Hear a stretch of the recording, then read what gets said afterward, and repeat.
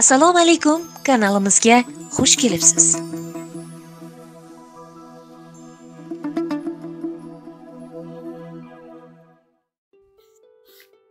Men bularni bir umr yuragimda saqlab yurishim ham mumkin edi. Ammo o'ylab qoldim. Bundan ne naf? Qalbimni xufton dilimni vayron qilib turganidan foyda ko'ryapmanmi? Albatta yo'q. Undan ko'ra mening holimga tushganlar o'qib xulosa chiqarsa to'g'ri yo'l topsa yaxshi emasmi? O'ylaymanki mening kimligim qayerda yashashim o'quvchi uchun muhim emas. Asosiysi hayotdan topganlarim ularga nimadir berishida. Men o'n to'qqiz yoshimda turmushga chiqqanman. Juda boy oila ekan dedi onam kelajagimni o'ylab. Hech narsaga zoriqmaysan uy joy quray deb qayg'urmaysan. Shuning uchun hammasiga ko'z yum. Men ko'z yumishim lozim bo'lgan turmush o'rtog'imning ilgari ham uylangani edi. Butkul ajrashib ketibdi-ku. Endi u ayolning ham yigitning ham yo'llari sira tutashmasmish. Meni desang tek rohat farog'atda yashaysan dedi onam roziligimni olishga urinib. Endigina o'n to'qqizga qadam qo'ygan qiz nima deb ham qarshilik ko'rsata olardiki men rad eta olsam. Uzatishdi. Rostdan ham boyi badavlat oila. Hech narsadan kami yo'q deya ta'riflashgan bu xonadonda faqat mehr oqibatgina yetishmasligini borganim zahoti sezdim. Ikki yillik befarzandligim esa buni yanada isbotladi. Qaynonam ko'z ochirmasdi. Shuncha sharoit bilan ham bola tug'a olmasangiz a nima balo? Ikkinchi marta ham og'zim kuydimi? Qarating o'zingizni. Kundoshingiz kelishi bilan homilador bo'lgandi nahot nevara qucha olmayman a? Bu gaplari dilimni og'ritadi deb o'ylashmas. Yuzingda ko'zing bormi demay gapiraverardi shukurki ikki yil o'tib bo'yimda bo'ldi. O'g'lim tug'ildi. Shuncha sabrsizlikka yarasha xudoyim ham ol qulim dedimi to'ng'ichim yarim yosh bo'lmasdan turib yana homilador bo'ldim.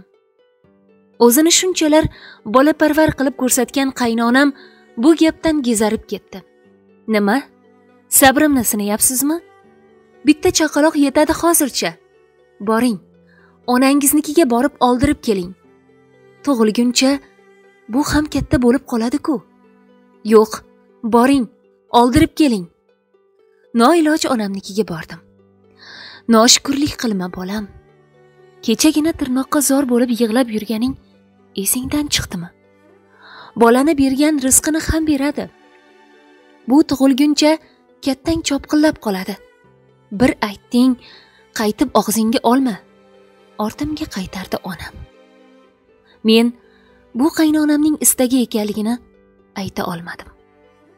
Onangiz pulni qizg'andimi? Bolani o'zi boqmaydida a? Shuning uchun tug'aver deydi. Qaynonamning jahi chag'iga tegmay qoldi. Har kuni bir gapni takrorlar. Kamiga atay ro'zg'ordagi og'ir ishlarni qildirardi. Yer chopdim qop qop sabzavot ko'tardim. Oxir oqibat bu sog'lig'imga va farzandimga ta'sir qildi. O'n sakkiz kun shifoxonada yotdim. Na qaynonam na erim xabar oldi. Shundan og'rinib uyga borishni istamadim. Qizim o'z uying o'lan to'shaging.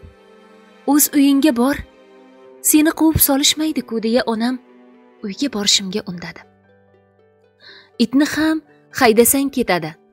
Bu esa yana qornini qappaytirib kelyapti deya qarshi oldi qaynonam. Bizga ajratilgan uyga kirsam hech narsamiz yo'q. Hayron bo'ldim. Endi alohida yashaymiz. Hamma narsani o'sha joyga ko'chirdim dedi erim. Quvonishni ham xafa bo'lishni ham bilmadim. So'ng erim o'sha aytgan ijara uyga olib bordi. Eski choyxona ekan juda chet joyda. Narsalarni joylayver kelaman deya u o'g'lim ikkimizni tashlab ketdi.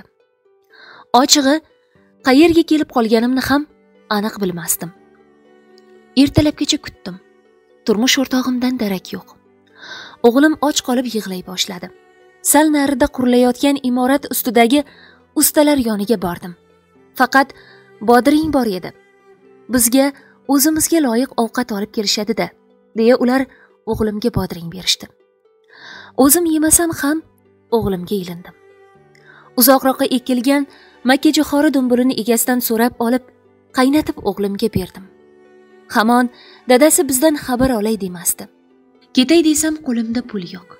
Yana ketganim zahoti kelib qolsa gap eshitmay degan hadik bilan kutib bir haftani o'tkazibman.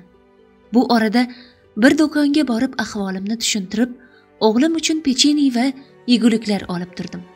Oxiri o'sha do'kon egasidan pul olib qaytdim. Turmush o'rtog'im bilan yana kelganimizda choyxona egasi kelib qoldi. Bo'sh yotgan yer bor. Shunga ul bul ekasizmi dedi u bizga qarab. Erimdan avval men rozi bo'ldim. U aytgan yerga pomidor ekib chelaklab suv quyib parvarishladim. Birdaniga hech kim yo'qlamaydigan hatto erim ham kam keladigan bu makonimizga qaynonam ham qarindoshlari ham kela boshladi. Chunki ekinim havas qilgulik darajada bo'lgandi. Afsuski ikkinchi o'g'lim tug'ilib ularni terib sota olmadim. Barchasini turmush o'rtog'im va qaynonam saramjonladi. Juda katta daromad qildik. Ammo u pullardan menga bir chaqa ham tekkan emas. Yana eski hammom eski tos avvalgidek o'g'illarim bilan xorizorlikda yashay boshladim. Erim bizni butkul tashlab qo'ygandi. Ilojsizlikdan bolalarimni onamga tashlab ishladim. Bu orada qaynonam yiqilib ko'zi ko'rmay qolibdi. To'shakka mixlanibdi. Ishlab yurgan chog'imda bu haqda eshitib qoldim. Qaynonang og'ir yotganmish xabar ol yana nasihat qildi onam. Ishonasizmi? Borsam shifokor yonimga yugurib kelsa deng. Siz uni kimi bo'lasiz? Biz bu bemorga uyga ketishga ruxsat bergandik. Shundan buyon hech kim yo'q. Qotib qoldim. Nahot shuncha boyvachcha o'g'illar birgina onaning holidan xabar olishga uyga olib ketishga yaramadi. Oyi men keldim dedim qaynonamning boshiga borib. Javob o'rniga qaynonamning ko'zlarida duv duv yosh ko'rdim. Yuragim allanechuk bo'lib ketdi. Yig'lab yubordim. Yig'lamang oyi sizni olib ketaman. O'g'lingizga hoziroq borib aytaman. Yig'lay yig'lay shifoxonadan chiqib erimni izladim. Topgach barcha dilimdagilarni to'kib soldim. Meni o'ylamadingiz. Mayli bolalaringizni tashlab qo'ydingiz. Xo'p lekin onangizdan nega xabar olmadingiz? Borib olib keling. Mayli meni yonimga olib keling. O'zim qarayman. Afsuski qaynonam erim borishi bilan vafot etibdi. Shundan so'ng umr yo'ldoshim bizni butkul unutdi. O'z uyimizga faqat o'zim sig'aman. Ukam seni va bolalaringni kiritmaydi dedi hatto yuzimga. Undan biror yorug'lik chiqmasligiga ko'zim yetgach o'zim tuman hokimligiga borib arzimni aytdim. Shukurki quloq tutadiganlar bor ekan yer berishdi endi topganimni to'plashga o'zimizga boshpana qurishga harakat qildim. Chaylada yashab uy ko'tara boshladim. Bundan xabar topgan erim yana paydo bo'ldi. Nomardni qarangki bolalarim rizqidan qirqib olgan qurilish mollarimni sotishga tushibdi. Ortiq chiday olmadim. Ajrashishga qaror qildim. Siz na oilani na bolani na onani bildingiz. Sizdan hech qanday umid yo'q. Keting hayotimni yana do'zaxga aylantirmang. Bunga chiday olmagan erim menga tuhmat qildi. Ko'chaga chiqib men haqimda suyg'oyoq deb gap tarqatdi undan butkul sovidim endi oramizda hech narsa qolmagandi. Yaqinda u uchinchi bor uylandi. Eng dahshati atay men uy qurgan mahalladagi restoranda to'y qildi. Mashinada chunonam shovqin solib o'tdiki uyimizni yonidan. Men ku mayli uning zulmlariga nodonliklariga ko'nikib qolganman. Ammo farzandlarimchi ular endi go'dak emas. Katta bo'lib qolishdi ularga qarab ezilib ketdim. Aytmoqchi bo'lganim qizini turmushga berayotganlarga men yaqqol misolman. Ammo boylikka uchmang. Mana men boy xonadonga tushdim.